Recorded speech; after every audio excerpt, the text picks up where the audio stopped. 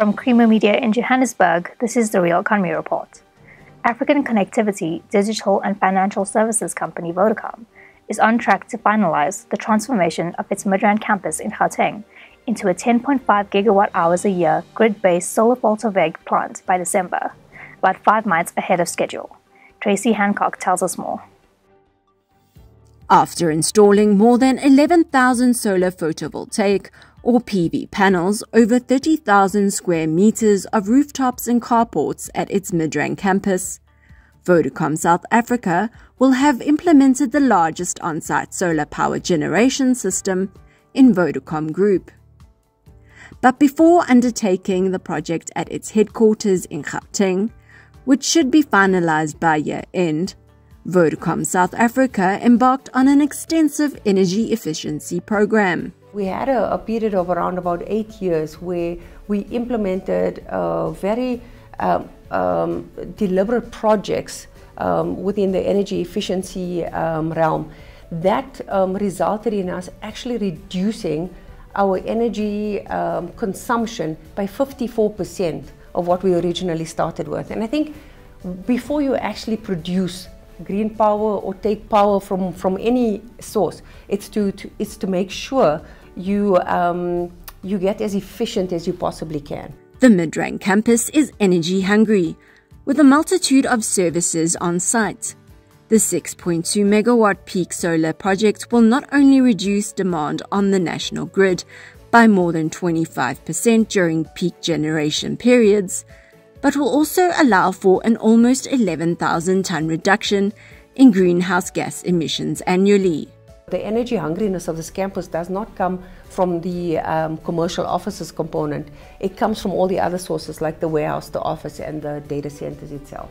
The split between the energy consumed on site is 70-30, where 70% of it goes to all other facilities except for the, um, the, the commercial or the office facility. So a lot of what we have incorporated in terms of the actual design is pushed to the energy hungry sector uh, sections of, um, of the actual facility itself. The Midrand project, which is also the first on-site power purchase agreement or PPA in the Vodafone group, has progressed ahead of schedule despite logistical challenges.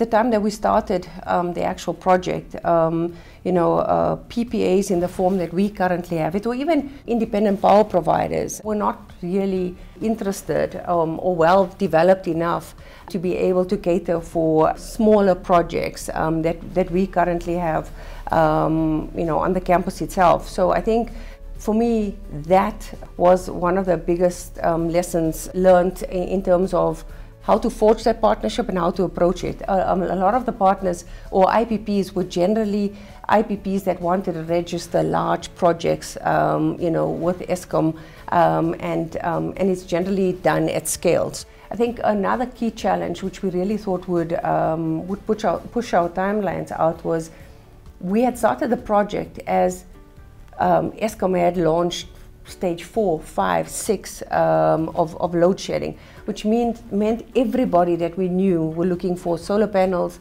inverters, equipment, all of those type of things. So that became a, a uh, incredible challenge for us to actually uh, ensure that based on the pace of our project, that the supply of all our equipment um, was coming um, in at the time. When you, when you think about procuring some, something just short of 12,000 solar panels to a specific site that needed to come on time when it was ready for, the, you know, for those uh, phases to have it installed, um, it in itself is, is quite a complex um, process. Nonetheless, the three-phase project started in November last year has piqued a lot of interest in the implementation of similar projects across the Vodafone Group. I think uh, the fact that we've been, you know, we've been commissioning it as the phases um, have been completed, um, and people are seeing the benefit of it, um, um has has been has been good for us. Um, it's prompted uh, a number of other projects. So definitely feasibility studies uh, being done or completed on all our owned buildings um, from, from a Vodacom perspective. So we have uh, targeted installations on some of our office buildings as well as that of our um, data centers. So quite excited to see how that um, you know, all comes together. Vodacom is also discussing the introduction of green leases and practices with the property owners of its leased buildings, which further promotes the planet pillar of its corporate strategy. Whilst we achieve uh, the greening of our power, we create an education um, and um, and uh, uh a, an awareness around the importance of um, energy efficiency, uh, conservation, security, and, and just general day-to-day practices in terms of what everybody can do towards um, redu uh, reducing, um, you know, our um, our impact, um, you know, to the carbon footprint, to climate change per se, um, as well as, uh, you know, uh, building a a culture that is that does not have um, the environment as an add-on, but rather that is uh, integrated within our DNA as we move forward. Vodacom's next move is to introduce battery energy storage at its Midrand campus to enable the supply of power during load shedding and power failures. And it will undertake a feasibility study to identify the best possible battery technology available the start of our actual journey um, to create clean um, and renewable power um, on, you know, on not only on this campus, but what will it be implemented across um, our footprint, not only in South Africa, but across the footprint. That's Creamer Media's Real Economy Report. Join us again next week for more news and insights into South Africa's real economy. And don't forget to listen to the audio version of our Engineering News daily email newsletter.